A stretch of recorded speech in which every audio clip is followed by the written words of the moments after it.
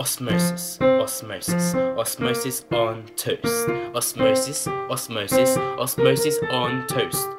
What do you do when you don't have toast? Purple apples and put in a roast. What do you do when you don't have toast? Purple apples and put in a roast. The luminous osmosis is quite the mitosis of diabolical destruction with erectile dysfunction. With a octocopter on the low velocity, you got to know.